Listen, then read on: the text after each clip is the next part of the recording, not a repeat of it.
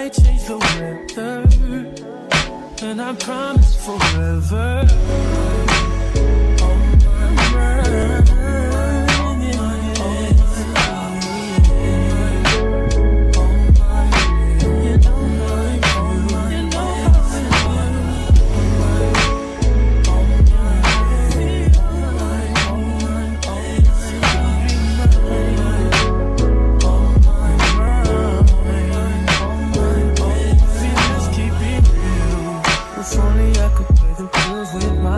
For you. We'd be in world. Hey guys, welcome back to my channel. My name is Kiana, but on here I go by the Modern Sim, and today we are starting a new Let's Play. This LP will be a little bit different from my other ones because this one is more storytelling based. Now, if you didn't know, I am currently an English major with a concentration in creative writing. So, crafting stories and narratives has always been something that I enjoyed and that I'm currently like learning how to be better at. So, creating an LP that is more story driven is just where I wanted to tip my hat into. One of the reasons why I love Sim so much is the ability to create your own stories, and I wanted to incorporate that more on this channel. Besides having a greater storytelling aspect, this LP will also differ in the fact that it will be rotational gameplay. Though we have our main sim, whose name I've yet to tell you, which is Naomi. As I was creating the other sims in this save file, I realized they had a story to tell too. And though my original plan was to somewhat tell those stories through Naomi, I felt like it wouldn't be as effective as actually playing as them and playing out those things. Not everything has to be like, oh, this happened off camera or we're filling you in from Naomi's perspective. Like I just really want to play with them and bring their stories to life as well. So before we get into the start of this episode, I just want to let you guys know that I will not be introducing all of the Sims in this first episode. My plan with them is to gradually introduce them in a way that makes sense and not just like throw throwing them all in one episode, especially the first episode, because I want this episode to particularly be about Naomi since she is our main sim. So I believe that's all I have to say for right now. So without further ado, let's get into this episode. So the main sim for this LP is Naomi Tomlin. Naomi is very sweet and outgoing. Currently, Naomi is an attorney. She became interested in being a lawyer simply because she loves to help people, and we'll get more into that aspect later in this episode because I don't want to reveal everything from the get go. But right now, she's kind of just enjoying being the well known and respected lawyer that she is. She doesn't quite know what's next for her. She knows at the end of the day, she just wants to help people, and she and she's kind of just enjoying being where she envisioned many years ago, which is helping people and being well off, you know and being a support system to her friends and family. So that is Naomi. Of work, Naomi is currently working from home today. I have her doing a little bit of research for the current case that she's on, along with her other friend, who we will meet in a future episode. Her best friend Winnie came over to one just talk and hang out and things like that, but also it's like lunchtime. She's come over to get a little bit of lunch oh, and talk. So Winnie is Naomi's best friend. Um, they were roommates in college actually, and they've been like pretty tight, pretty close ever since. Like she is the one that Naomi pretty much goes to with all her problems, and vice versa. And they know so much about each other. Now Winnie won't be over for too long because Naomi has other things planned for the rest of the day, but just gonna have them chill and hang out and catch up just a little bit. And while they do that, I'm gonna give you a quick tour of Naomi's home. So this is Naomi's home. So going in her front door, we were met with her entrance, which has a picture of herself and her little sister and a candle, as well as this mirror. And then turning to the right is where everything pretty much is. Her whole house is pretty much just like open, but like has areas to make it seem like it is closed off. So to the right, to the immediate right, we have her living room area. Going straight ahead, we have this bookcase, library type of area, and then we have her dining room. And then off of her dining room, we have her beautiful kitchen. And above the fireplace, we have a couple of family photos. So cute. We have this lofted area. I don't know, guys. I just love lofts so much. But this is her bedroom. Very simple, kind of like ravens in a way from my moving on let's play but not not too much. But these more family photos that is her and her sister all grown up. Here we have a painting corner because naomi does love to paint and here's some of her art. I couldn't think of the word. And she has a little desk area right here and then off of her desk area is her bathroom which is actually one of my favorite parts of this build. Like it's really nice. And then here's a shower over here but the sink toilet and then like you can see through the um the windows the glass windows a little bit of the downstairs area but not too much. I forgot to show you that there is a another bathroom here bathroom in here. It's just a half bath nothing too special. Toilet and then you know sink and mirror so that is that. But anyways back to naomi and winnie. I'm gonna have her finish researching this case and then have her chat a little bit more with winnie but i also want to have them eat. I think i made yeah i made grilled cheese earlier or naomi made grilled cheese earlier so i'm gonna just say call the meal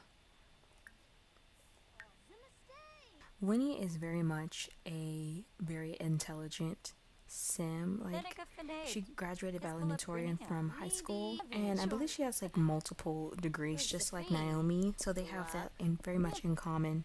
Like I said, Naomi has other plans for today, and she is actually going to go out with. Oh, mischief skill. She's actually going to go out with someone who she's been in an off and on again relationship with. They've been at this pretty much since college. So I just want to see what she. Okay. Born, Boda.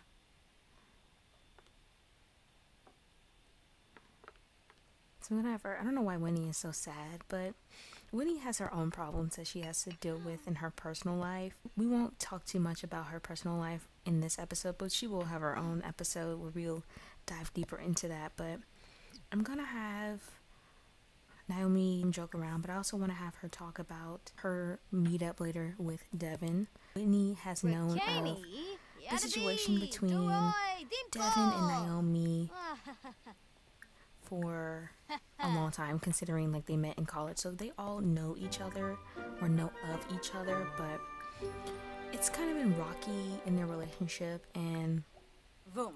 Ah, Fibna?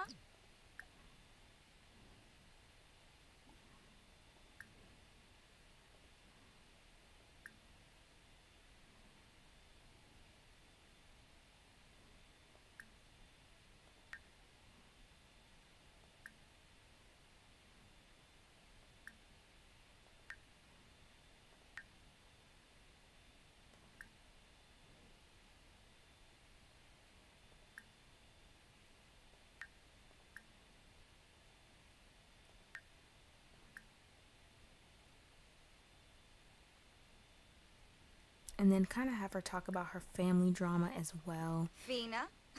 Vintage Jongi. Ah, Wanu. Well, no. So like, yeah, I'm going out to meet with Oh, Deven later today. Ooh, keep that He's there. in town for just a few days. You know, things have kind of been like back and forth, but you know, Banaza. hopefully this weekend or this week we end on a good note. So rude. Naomi's also telling her about the fact that before she goes there, she's gonna go see her her family. She's like, yeah, how is how is your dad and your and your sister?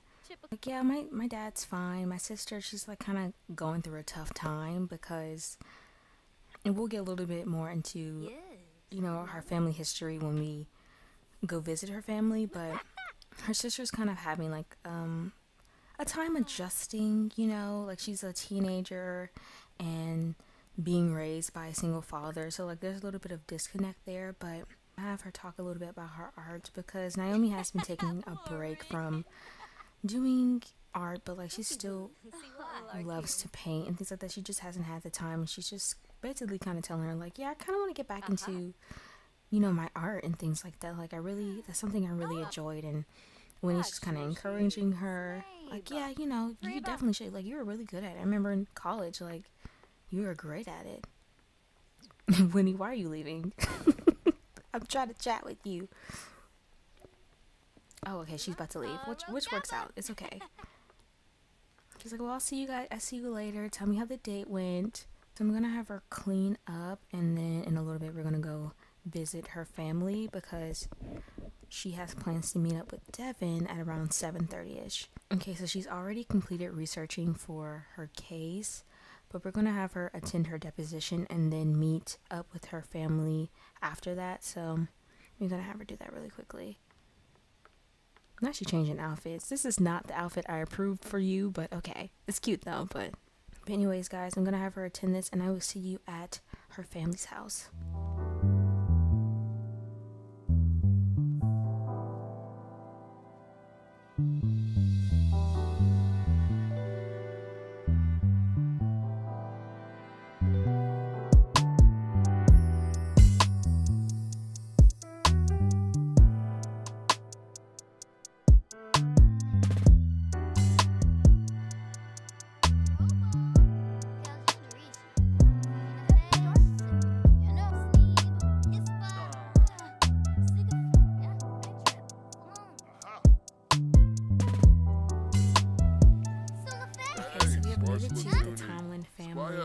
Residence. Right now, Naomi is talking with her. Well, she was talking with her whole family, but right now she's talking with her father. Brinka Flanobo. Neebs, all I'm child. just like catching up with him, like you know what's been going on, you know, with you, and you know I'm over here like every other day. I just want to know, I just want to check in on you, Dad, because I'm kind of like in a a little concerned about you. And I have her about the text um, Deven because it is running a little bit late, so they'll have to like push it back a little bit. But her dad seems to be fine. I'm gonna have her check in on her sister. So it looks like her sister is in the garage. I wonder why she's in here actually. Maybe she came to paint or something. This is her sister Cameron, and they're like really close. Like. Cameron is currently a teenager, so there's quite a bit of an age gap in between the sisters, but they're like really tight. Even though they are sisters, I guess they would consider each other their best, each other's best friends. Actually, Naomi just kind of came over to check on her sister. She heard like she's kind of been having a hard time with their dad. Cameron is growing up. Rolling on the floor, laughing. To be safe to say that she likes comedy? Yes, of course. Caregiver Sims are driven by the empathy and compassion to protect and care. Unfortunately, others will exploit their good nature for their own ends. And this comes up in perfect timing because Cameron also has been having trouble with like her friendships and things like that. But and she feels like she can confess those things too. Usually, she's able to confess those things.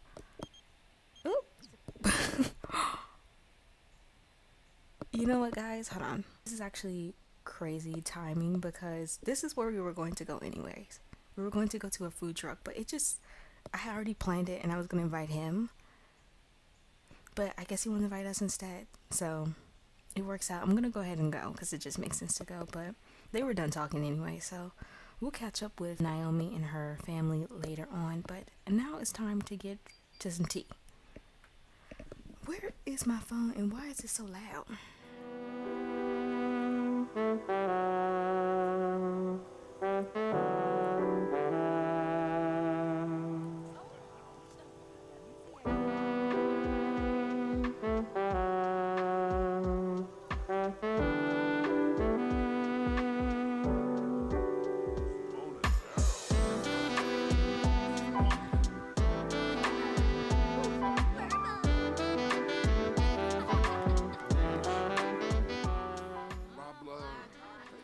So we have made it to the food truck, which I converted into a restaurant, and I will have the build linked in the description below. But I'm gonna have her. Where is he going? Okay, I'm gonna have her request a table, but this is what the this is what it looks like. Okay, so this is Deven. I already had them order, even though they text pretty frequently to check in on each other, but like it's different. Um, so basically, Naomi and Deven used to date back in college. It was pretty good in the beginning. Like they kind of started off as friends, and then it kind of transitioned into something more. I didn't really get into it back at her family's house because we were um we were on a time schedule essentially, but Naomi was raised pretty much by her dad. When she was younger, her mom was sick. Sadly, she ended up passing away from her sickness, and essentially, Naomi's dad, Corey, had to just raise his daughters the best way he could. And of course, he couldn't give them everything they needed or required emotionally and just knowledge wise about, you know, how to be a woman and in that aspect. But he tried his best. And essentially, Naomi kind of grew up as a tomboy ish, you know what I'm saying? Until she went to college. Like I said, that's where she met her friend group, but also, most importantly, for this episode, Deven. And Deven was kind of there through her tomboy era. Like, he had like a slight, a bit of a crush on her, but like, he wasn't really acting on it because he didn't think that Naomi was interested in him in that way. Eventually, their friendship grew, and you know, she was able to open up about you know her her upbringing and this this pressure that she had um, to kind of just be the mother figure that she didn't have for her sister. And so that kind of connects back to early in the episode when I was talking about her being her desire to want to help people. That kind of stems from when she was younger and had to kind of step up and help her father. Why is he here? I'm sorry. Step up and help her father. He better not walk over here. Sorry. Step up and help her father raise her and her sister. So their relationship was pretty decent.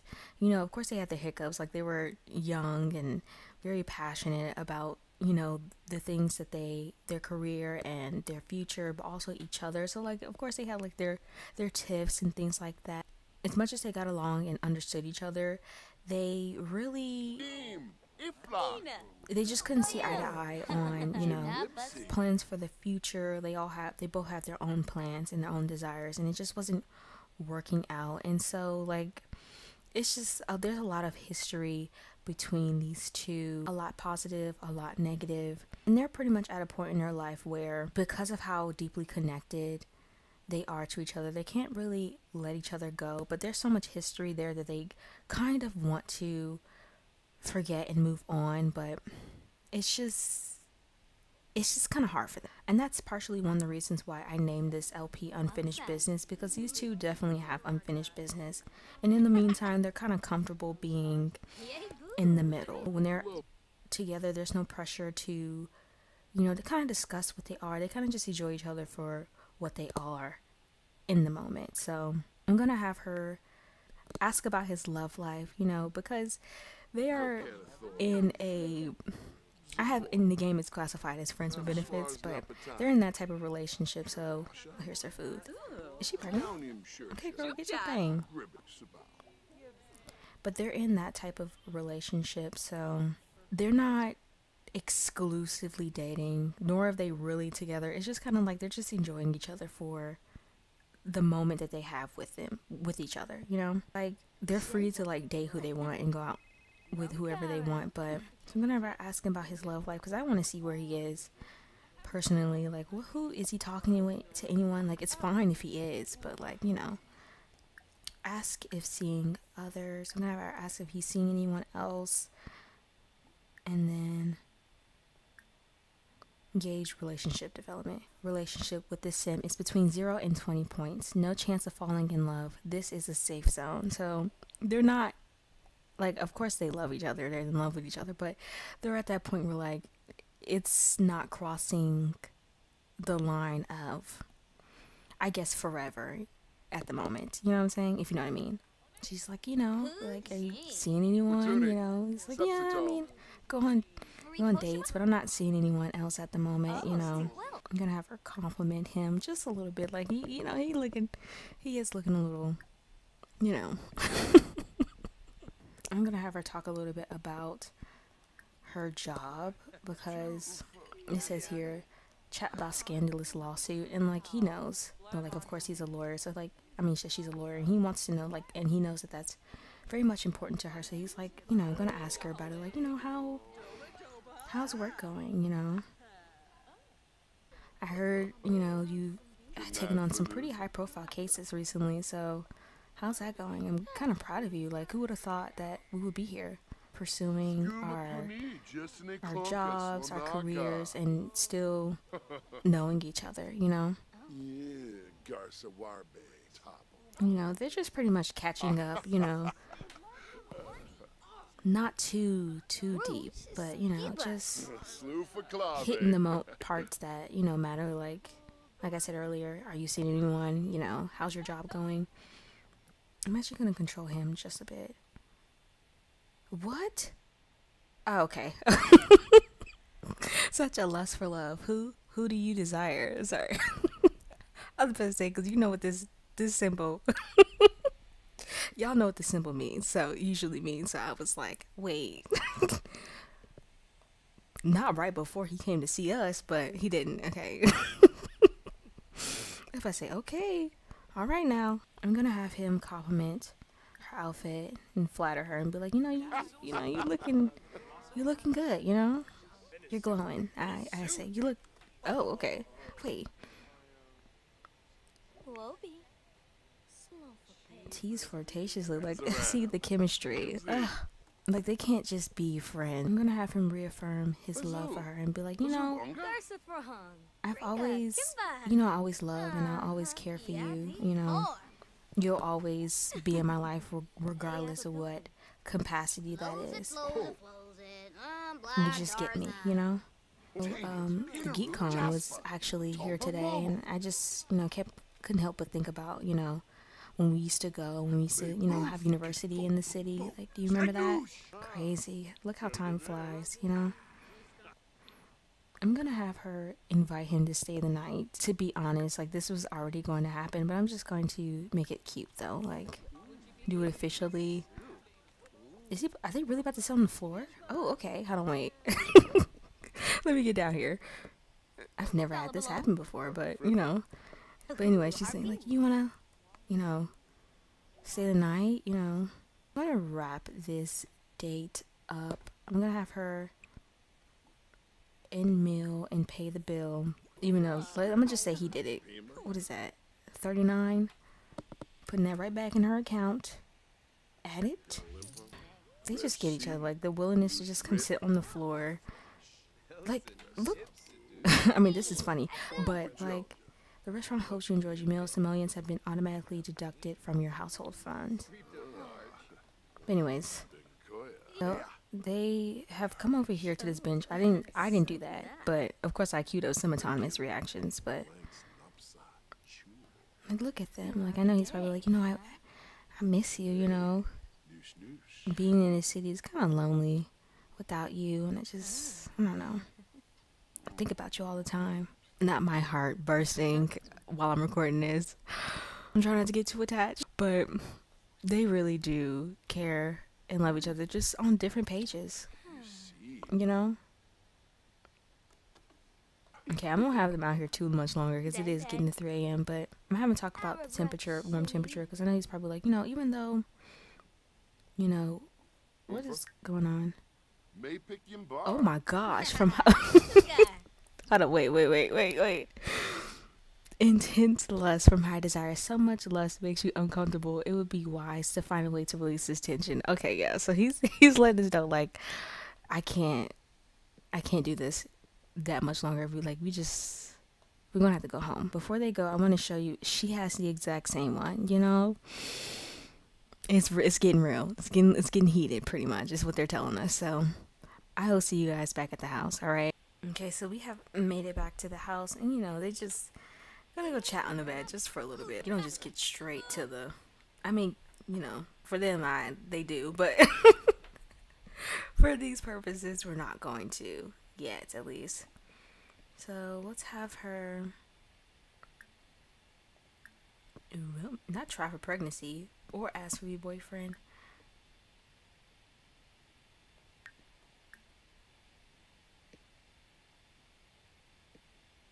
Gonna have her embrace him.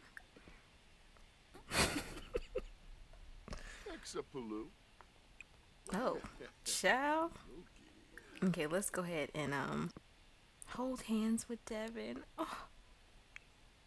Okay, I don't have access to this once, but that's so cute. No, before we do any of this, because I don't have time for no no foolery, okay guys? Okay? I don't have time for it. Drag this into the inventory. Cause mm-mm. I don't have time for it. like I did that just go throw the whole LP off. Oh wait, she already had some up here. Oops. At that point I think I would just pretend like it didn't happen. I'm gonna reaffirm her love for him. And be like, I honestly can't imagine you not in my life either. Bisharibo.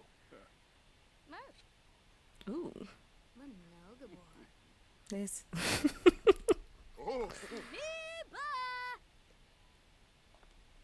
they said finally, gosh.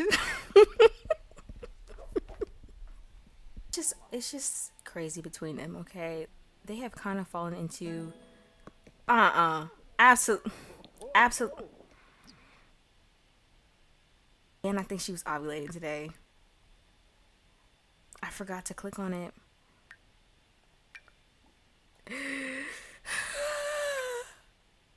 Well,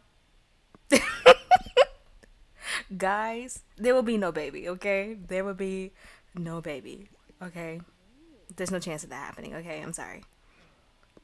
Oh, it looks like they're done. They really do care about each other, guys, but they just can't get on the same page for longer than a moment. And if I were to use a song to describe your relationship at this moment, it would be All Mine by Brent Faiyaz. Like, they really do deeply care and love each other, but they like get on each other's nerves. There's always something keeping them apart. So, we'll see where their journey takes us in this LP. Um, I'm really am excited to play it out because, guys, it's gonna be.